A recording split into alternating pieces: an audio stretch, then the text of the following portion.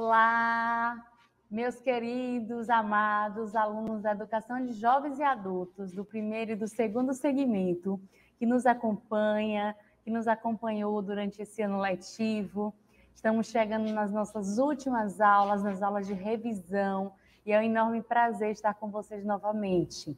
Então, sintam-se à vontade, sintam-se motivados a participar de mais uma aula. A nossa aula hoje é de língua portuguesa com as multiplicadoras Clésia Nogueira e eu, Nádia Lopes, para mais um dia de aprendizagem, mais um dia de conhecimento. Então, você que está aí do outro lado, nos acompanhando, nos assistindo, espero que seja uma aula produtiva, uma aula que você possa aprender. E é muito bom sempre ter você aí comigo, tá bom? Antes de tudo, né, nós vamos falar hoje sobre documentos históricos, né, da importância de alguns documentos de nós, enquanto cidadãos, né, temos alguns direitos, temos direitos a documentos e a gente vai ver alguns deles hoje. Mas antes de qualquer coisa, antes da gente iniciar qualquer coisa, eu vou passar um vídeo para você, para que a gente comece a nossa aula refletindo, é, pensando no sentido que o estudo tem para você, estudante. Então vamos lá, a gente vai assistir esse filme e depois a gente vai para o nosso assunto principal da aula.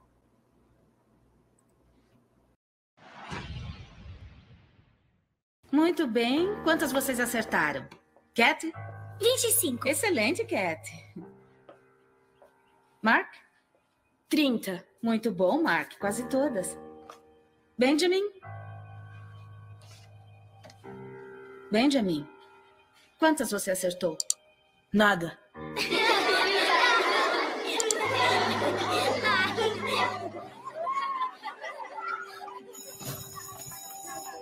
Ei, Benny, você era o cara mais burro da classe. Mas sabe o que disseram no Cronkite no jornal de ontem? Que você é o cara mais burro do mundo. Você não foi feito para fracassar, Benny. Eu sou burro, mãe. Não é não. Você é um menino inteligente. Escuta aqui, escuta aqui. Você não está usando essa inteligência. Continue tirando notas como essas e vai passar a vida toda varrendo chão numa fábrica. Não é a vida que eu quero para você. Também não é a vida que Deus quer para você. Sim, mãe. Mãe, meu cérebro não funciona. Bem, seu cérebro funciona. Não, mãe. Você tem o mundo todo aqui. Você só tem que enxergar além do que vê.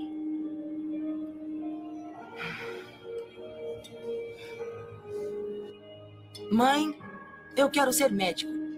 Você pode ser o que quiser nessa vida. Você está no controle de sua vida. Seu futuro está em suas mãos. E o que você faz hoje é importante. Você tem a tela para criar a vida que você deseja.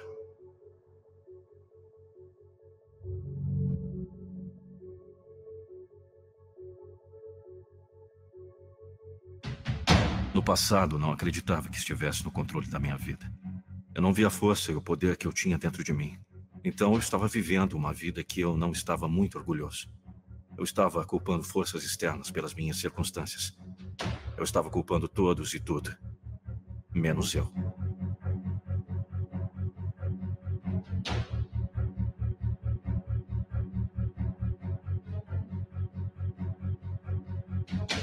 Um dia, pela primeira vez, comecei a olhar dentro de mim.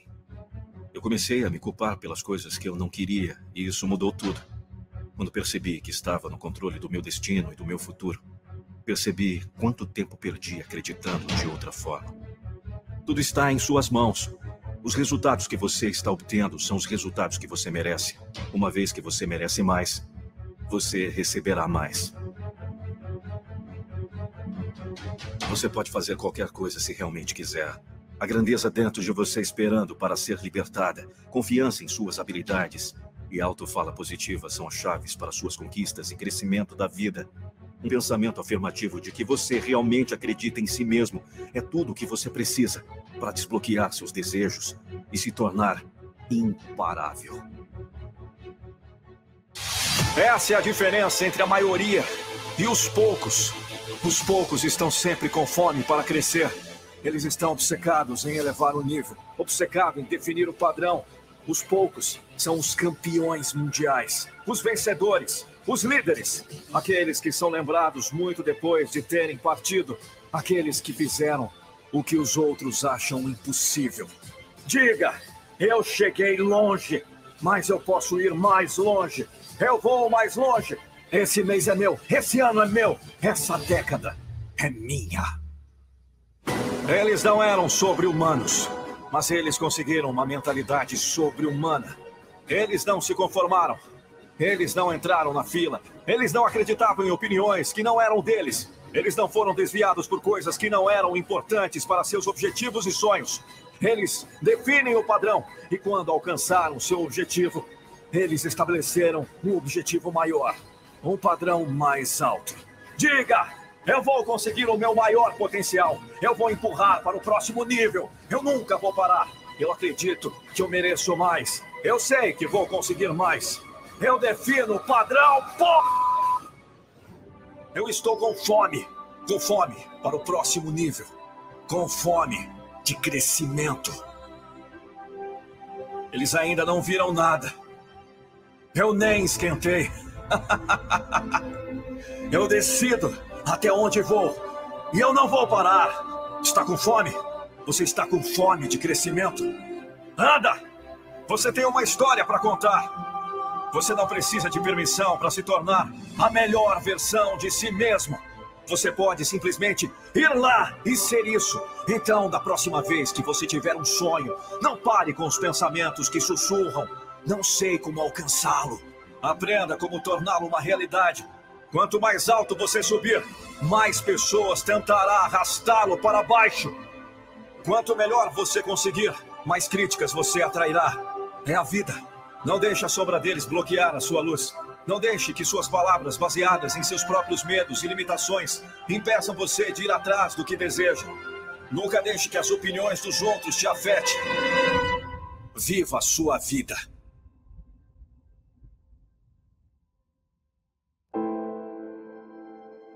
O sonho que você espera está lá esperando por você. Apenas não pare. Então, gente, é essa mensagem, né, que eu trago para vocês, para falar que vocês podem, vocês podem sonhar, vocês podem ir em busca dos sonhos de vocês.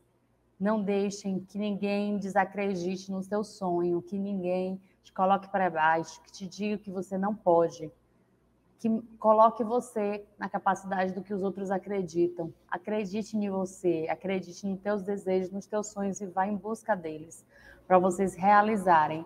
Os alunos da educação de jovens e adultos muitas vezes escutam palavras negativas, né? Como essa desse, desse trailer, desse filme, é, de pessoas que são negativas, de pessoas que dizem para você o que você pode, o que você não pode né? E determinam o teu destino e querem determinar a tua vida, mas a tua vida depende da tua, é, do teu sonho, do que tu sonha, do que você deseja, do que você corre atrás. Não, muitas vezes não é fácil, nem sempre é fácil, muitas vezes é muito difícil mesmo. Mas quando você é, vai atrás, que você traça as metas, que você se organiza para você conseguir, nós temos muitos exemplos, né, de pessoas que não tinham possibilidade, aparentemente não tinham possibilidade, é, e eram subestimadas, mas que foram atrás, correram atrás e conseguiram. E é por isso que eu trouxe essa mensagem para você hoje, não desistir dos teus sonhos, tá bom? E aí a gente vai começar, vamos lá começar o nosso tema de hoje, que nós vamos discutir, que nós vamos falar para vocês sobre documentos históricos. O que são documentos históricos, né? E o que são documentos pessoais. Então, esse é o nosso tema de hoje. Vem com a gente. Vamos falar de alguns desses documentos históricos que eles são ferramentas do historiador.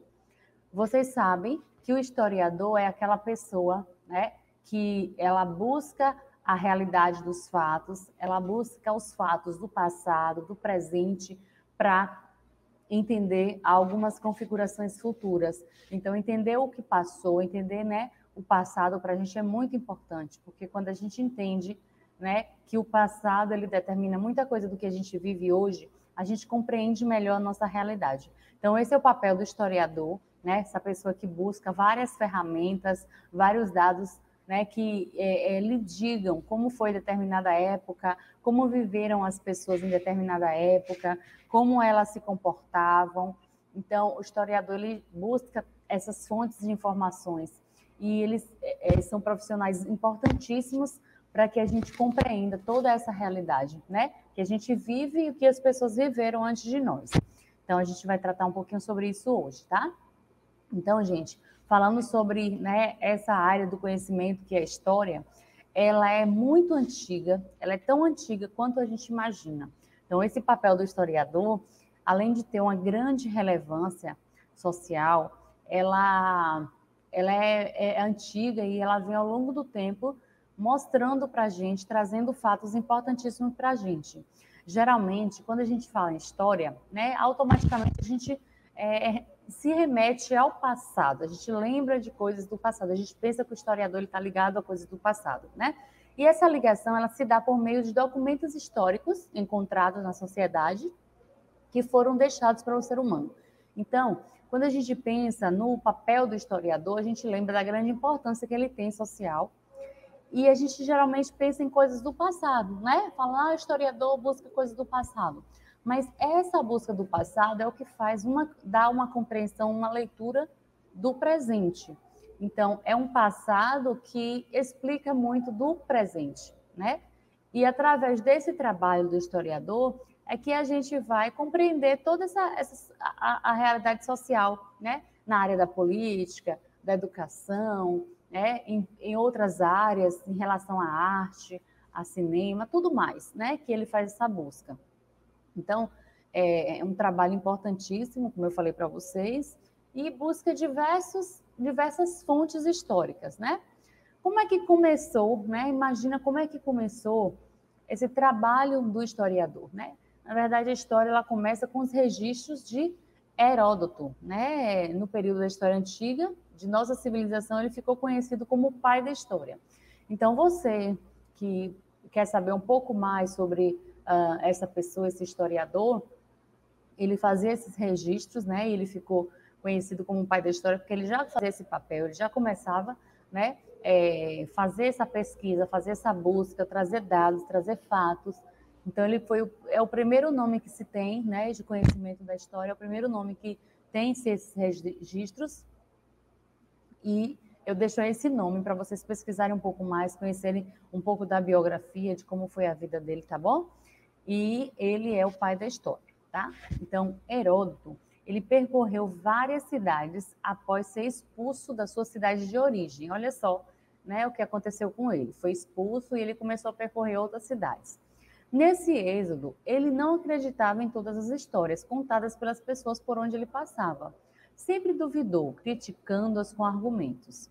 Ele tinha um olhar racionalista. Para que né, para o que ouvia. Consequentemente, ele submetia o conhecimento adquirido à crítica. Então, era uma pessoa extremamente inteligente, né, é uma pessoa que não acreditava em tudo. Então, para ele precisava de provas, para ele precisava de um fato realmente que comprovasse a veracidade das informações.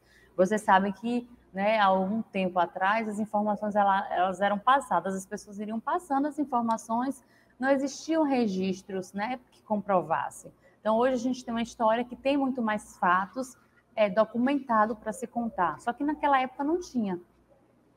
E ele não, não acreditava, né? Imagina que todo mundo que chega contando tudo, ele, a, a gente acredita. Hoje nós temos um grande problema com a sociedade, né? É que as pessoas estão muito ingênuas porque acreditam em tudo que vê, em tudo que ouve né? Eu vou usar a palavra ingênuo para não falar outra palavra, né? Mas é, é, inadmissível que a gente esteja em 2022, né? E as pessoas ainda acreditam em tudo que vê pelo WhatsApp, tudo que vê pelo, pelas redes sociais de forma geral, né? Tudo que chega, vídeos, fotos, e as pessoas acreditam naquilo que vê muito, com muita facilidade, sem buscar a fonte de dados realmente, né?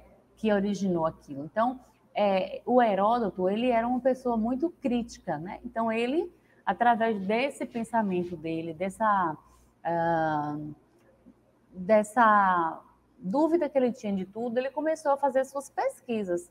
Então ele realmente era uma pessoa que precisava que os fatos foram, fossem colocados de forma que pudessem ser provados, né? Então, quando vamos fazer história, né, a gente devemos nos fazer história e viver no dia a dia, né, no nosso cotidiano, no nosso dia a dia, a gente realmente se espelhar no pai da história, em Heródoto. Por quê? Para que a gente não acredite em tudo que, que as pessoas dizem para a gente, para que a história ela possa chegar ao que é realmente verdadeiro, ou ao mais próximo possível da verdade. Moade e Cavalcante corroboram, né, dizem o seguinte, que fazer história significa, então, pesquisar, criticar, comparar, analisar, compreender, explicar. Então, a gente precisa, né? Não é só os historiadores que fazem histórias. Nós também fazemos história. A gente faz história na nossa comunidade, a gente faz história no nosso bairro, a gente faz história na igreja onde a gente frequenta, quem frequenta, a gente faz história na, nos diversos setores, né? Que a gente convive, na escola, na faculdade, na universidade, na nossa família. Então, a gente também faz a nossa história a história de quem do lugar do lugar onde a gente convive, né? A dependendo do teu papel na, nessa comunidade, você também está fazendo história. Então, para que a gente possa ter essa criticidade, para que a gente possa realmente duvidar, né, e buscar a informação para que a gente chegue ao mais verdadeiro possível daquilo e a gente não ajudar também a estar perpetuando, passando informações falsas. O historiador, gente, ao pesquisar ele vai em busca de pistas, né, a respeito de determinado assunto que irá abordar. Então, ele vai fazer uma pesquisa aprofundada sobre o que ele quer pesquisar e vai buscar vários, vários fontes, jornais, noticiários, fotos. Uh, hoje a gente tem a tecnologia que ajuda muito o historiador, né? O historiador hoje ele pode contar com a tecnologia a seu favor, que é mais fácil. A gente coloca um assunto no, na internet, né, no Google, é, a gente tem uma infinidade de informações. Então, antigamente, que não tinha essas informações, era muito mais, mais difícil o trabalho do historiador. Precisava ir para cartório, lugares que realmente ia encontrar essas informações. Então, hoje nós temos uma facilidade para esse, uma facilidade de contraponto também não, porque assim, a, a, grande quantidade de informações também vai fazer com que esse historiador ele tenha, ele precise pesquisar muito mais, né? Ele precisa realmente checar essas informações, ver o que é verdadeiro o que não é. Apesar do acesso ser mais fácil, mas também existe esse outro lado, né? Que tem muito e precisa saber o que é que deve considerar. Mas antes eles iam utilizar, né, como fonte, já existia essas fontes de dados, então fotos, diário, porque assim existia muito isso de escrever, por exemplo, nas navegações, os homens que iam procurar novos territórios, né? Os navegadores, as pessoas que faziam parte das comitivas de viagens, elas tinham esse hábito de escrever. Não era todas as pessoas que, que sabiam escrever naquela época, mas os que sabiam fazer esse papel. Então, é, essas pessoas, gente, iam é, fazer essa busca, fazer essa pesquisa e precisava dessas fontes de dados, né, de informações que as fotos, os diários, as agendas ou até um cardápio serviam como é, fonte né, para pesquisa dos historiadores. Os documentos históricos, eles são chave para o trabalho do historiador. São chamados também de fontes históricas.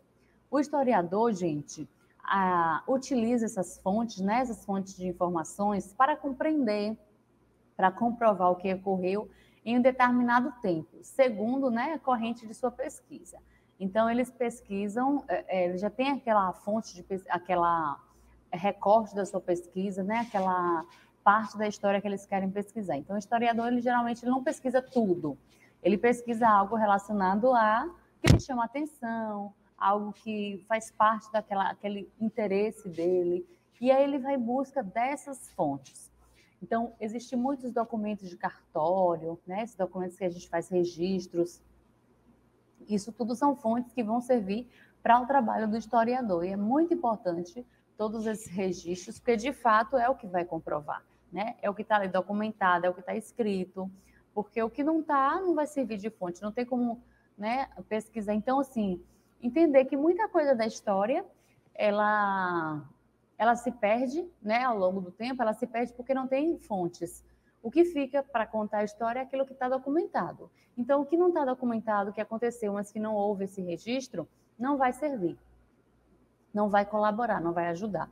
mas os que são documentados são as fontes utilizadas. Então, dá para a gente entender que a história ela é um recorte de uma realidade. Ela pode não contar tudo por não ter subsídios para fazer essa comprovação, tá? Então, é, como se define né, um documento como é, estritamente histórico? Como é que a gente escolhe um documento? Nós temos muitos documentos, né?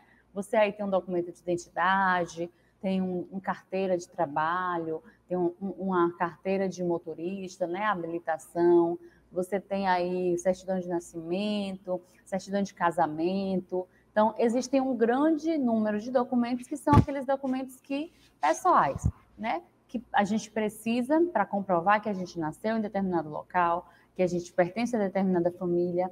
E esses documentos são importantes também, e eles ficam documentados também nos cartórios. Mas eles não são considerados históricos, né? Eles são os documentos pessoais. Mas para ser documento histórico, o que, é que ele precisa, né? Então, os, os historiadores, gente, é, esse termo historiador, ele remete a tudo aquilo que foi produzido e registrado por humanos ao longo do tempo. Então, documento histórico, ele é um termo usado pelos historiadores e determina tudo aquilo que os seres humanos ele registrou, produziu e registrou, né, ao longo desse tempo. Então, no início, eram considerados documentos históricos dignos de nota aqueles que haviam sido escritos de forma oficial, seja pela igreja, seja pelo Estado. Então, inicialmente, os historiadores eles consideravam como documentos históricos apenas aqueles é, que foram né, registrados pela igreja, pelo Estado, que eram documentos oficiais. As outras fontes, elas não eram tão valorizadas e utilizadas pelos historiadores, porque de fato, de fato eles queriam documentos que realmente tivessem comprovação, né? Não fosse uma fonte duvidosa. Então, acredita-se que ao longo da civilização humana, humana, incomparáveis documentos foram produzidos pelos povos que habitaram a Terra. E muitos deles, inclusive, mais do que só existiram, ditaram o presente e o futuro a gente vai conhecer alguns documentos importantíssimos para a história, né, para a nossa história, para contar a nossa história. Então, gente, muitos documentos eles foram, não é que é, não existiam documentos, mas o que os que eram realmente fonte utilizada pelos historiadores eram os documentos oficiais, pela igreja e pelo Estado. Mas existiam muitos documentos. As pessoas produziam também é, documentos, mas eles não eram né, utilizados. Então, a gente vai ver alguns documentos hoje que mudaram a história, né? que fizeram parte da história e que foram importantíssimos para tudo. E a primeira que eu vou mostrar para vocês é a Lei Áurea. Gente, em 13 de maio de 88, a lei número 3.353 pode ser considerada como uma das mais breves e mais famosos atos legais, portanto, escrito histórico, né, da história do Brasil. Então, a Lei Áurea é, é um dos mais famosos, mais revolucionários dessa época, né? Com apenas dois artigos, esse documento carrega o peso de muitas vidas salvas. 700 mil escravos foram libertos, mas muitos, muito mais haviam sido submetidos a, super, é, é, a situações desumanas. Em suas linhas, haja visto que, por meio delas, a escravatura foi legalmente abolida no país. Então, foi o primeiro documento legal né, legalizado, que de fato é, é, comprovava que ah, é, os escravos seriam libertos. Então, não foram todos, né? A gente sabe que fora da lei muita coisa acontece, mas a lei é importante, né? Os documentos eles são importantes, é, é um marco, né? E colabora muito. Sem, sem as leis, né, a realidade seria muito pior. Então, a gente tem a lei para amparar, e essa é uma lei muito importante para a história do nosso Brasil. Em uma época em que Portugal exercia soberania sobre nossas terras, a escravidão era o centro das preocupações. Este documento ele foi um marco, gente, para a mudança política e social do nosso país. Então, essa lei é a que chega né, para realmente é, colocar um fim na escravidão deu um fim? Não, nós sabemos que não. Até hoje, 2022, a gente sabe que tem pessoas vivendo em situações né, parecidas com a vida dos escravos. Talvez é, é, não com tantos castigos físicos, mas ainda vivendo em situações próximas, né? De respeito, de falta de um salário digno, de muitas situações que a gente sabe que existe. Mas esse documento ele marca, né, a nossa história e ele tem a sua grande importância, sim, porque com ele, né, com esse documento, muitos escravos, muitas pessoas foram libertas. Então, Portugal, vocês sabem que Portugal ele, é, é, era o dono do Brasil, né? Portugal chegou, tomou conta e o Brasil não tinha, né? A, era vinculado a Portugal, Portugal é, é, exercia essa soberania. Então, é, nessa época, né, foi um marco muito importante dessa mudança política e social do nosso país. E temos também as constituições federais, é, são os inúmeros códigos de conduta que todas as nações do mundo, sem exceção, tiveram de dirigir e promulgar em seus territórios para enumerar e limitar os poderes e as funções do Estado e definir quais as garantias e deveres do cidadão. Bom, as leis, gente, as constituições, elas surgem, na verdade, como forma de reger o país, né? Como forma de organização do país. São as leis que regem os comportamentos, né? É, do cidadão, o que eles têm de direito, o que eles têm de dever, o que, é que eles precisam fazer em determinadas situações.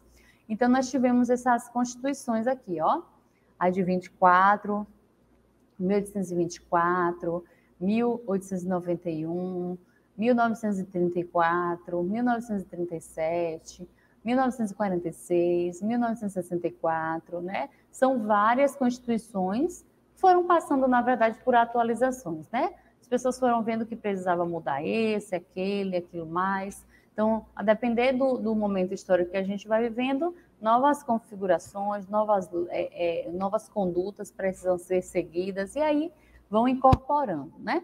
Os textos criados em cada uma dessas constituições trazem em sua redação a mais clara transcrição de como a sociedade deve se comportar, né, na época de sua elaboração e até vislumbrando o futuro. Então, quando a gente parte para analisar essas constituições, as pessoas podem conhecer como é, é, é, viviam as pessoas naquela época, o que era aceitável, o que não era, o que era punido, o que não era, né? É, é, o, é o, documento, na verdade, que ele traz as regras né, sociais da época. Então, quando a, o tempo vai passando que a, a política, a sociedade percebe que tem algo que precisa melhorar, vai lá né, e faz uma atualização desses documentos. Por isso a gente tem tantas versões, né? A gente tem essas versões da Constituição. Então, gente, importante a gente entender que os documentos históricos eles é, eles contam, né, uma história da época, mas ele marca também o presente. Ele marca como as pessoas vivem no presente. Então, esses são alguns documentos que fazem parte, né, que são importantíssimos para a nossa história. E como documentos pessoais, né, nós temos aí hoje, nós sabemos que é direito da criança já sair do hospital, né, com a sua, seu, sua é, registrado, né?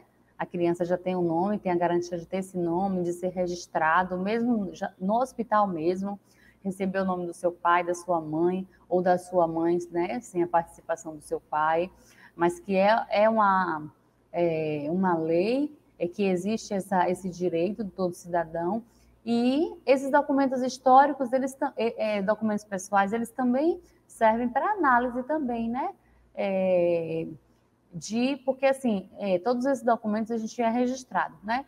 Então, nossos dados eles ficam registrados nos cartórios onde a gente mora, onde a gente reside, e eles servem também depois para fontes de pesquisas é muito comum os historiadores utilizarem pesquisas também baseado nesses documentos que estão nos cartórios, nas igrejas, né? São registros que ficam, permanecem ali e servem para consultas, né, do historiador. Então, gente, essa foi a nossa aula. A gente pôde perceber um pouco da importância do historiador, né, e dos documentos históricos para contar as histórias. Então, foi muito bom estar com vocês e a gente se vê na próxima aula. Um grande abraço, pessoal, e até a próxima.